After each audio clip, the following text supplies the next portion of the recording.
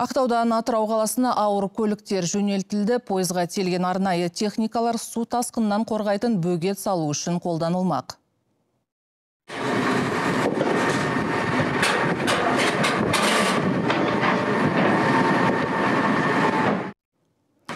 Экскаваторлар, жүк көтеретін крамдар, автобустар бүгін пойызға тиелді. Енді шойын жол арқылы бірер күнде Атырау облысына жеткізіледі.